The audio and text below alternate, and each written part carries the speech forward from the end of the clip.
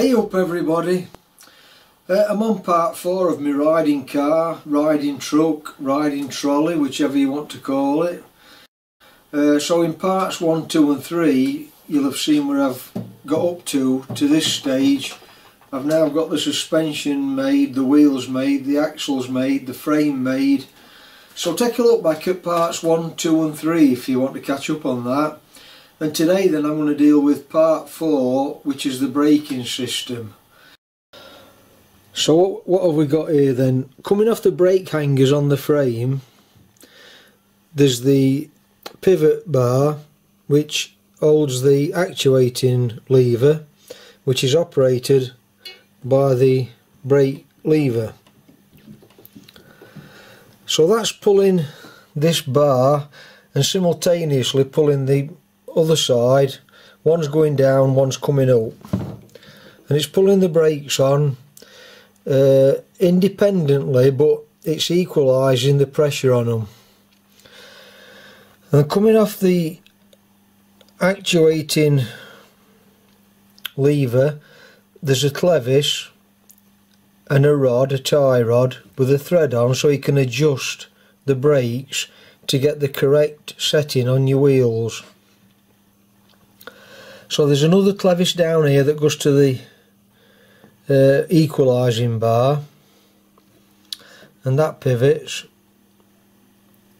That's connected to, to the brake hangers which pivot on the suspension up here and then you've got your brake shoe onto your wheel.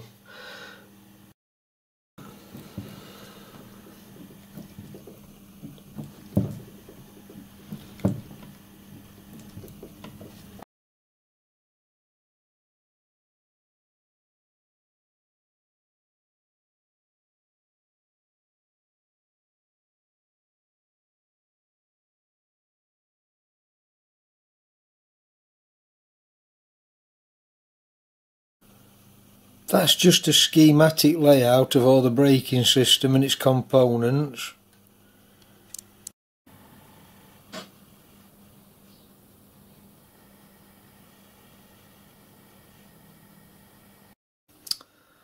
I'm going to deal with brake blocks first and if you want to know in great detail how I, how I duct brake blocks take a look back at my um, how to build a locomotive series I'll put a link up somewhere up here and direct you to that. It'll show you my machining brake blocks so you can take extracts from that if you're not sure.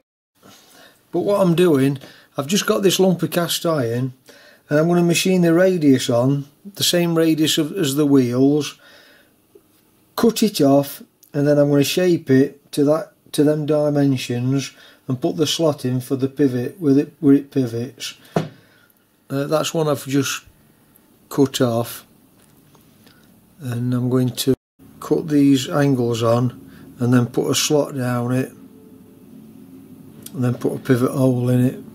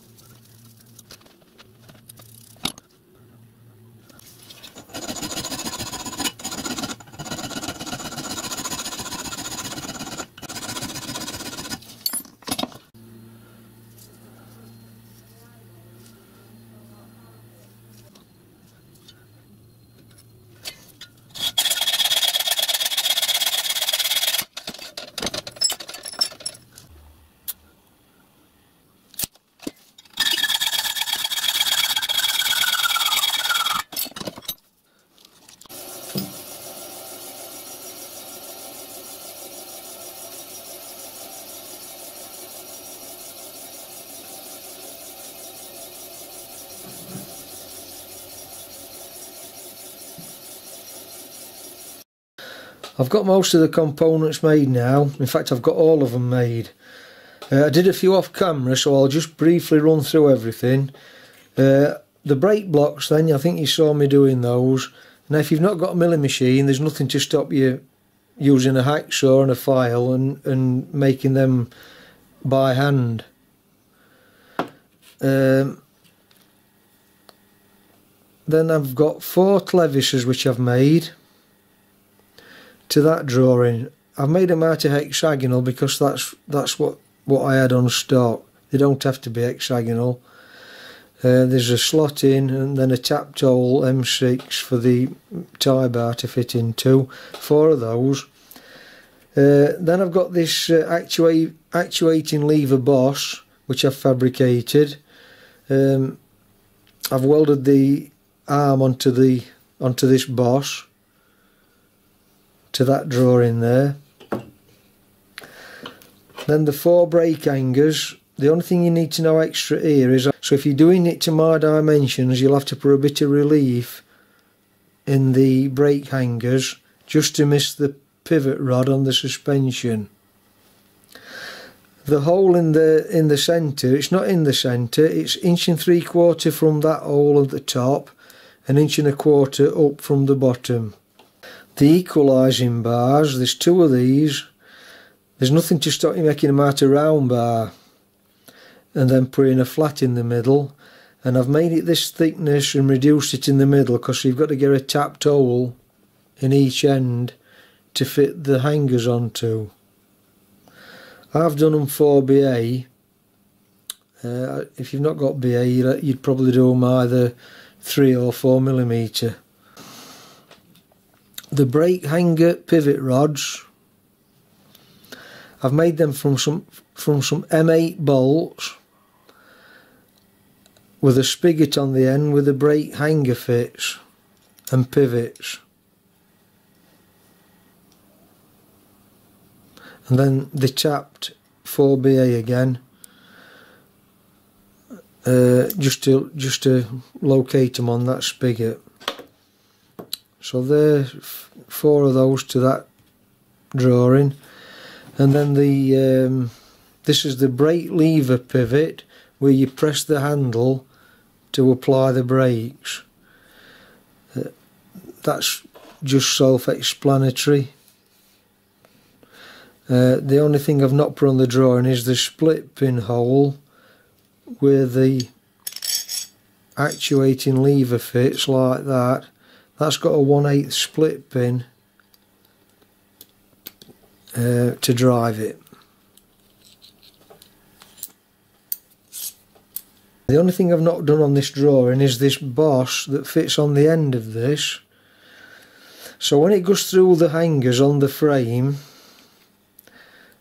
it comes through the other side to get your brake lever on that you operate with your hand. So all that is is a boss uh, drilled and tapped the same thread as whatever you put on your pivot and then it'll have another hole drilled and tapped when I've got it all assembled to give me position of where my handle's going to be. So what I'll do then, I'll go ahead and uh, assemble it all before I paint it and then show you it all in uh, as it's going to be located on the riding car. That's all the braking components manufactured now from scratch. Uh, so uh, like I said in a previous video about the suspension units etc there's nothing hard and fast about these sketches I've made and the dimensions. You can adapt them to suit your materials or to suit a different size riding car. Uh, so what I'll do then in part 5 I'll get all these parts assembled onto the actual riding car and show you where they go, how they work etc etc. So if you've not seen parts 1, 2 and 3 on making the frame and the suspension take a look back at them and if not I'll catch you on part 5 assembling all the braking system. So I'm going to sign off for now then. Thanks for watching and I'll catch you on the next part. Bye for now then.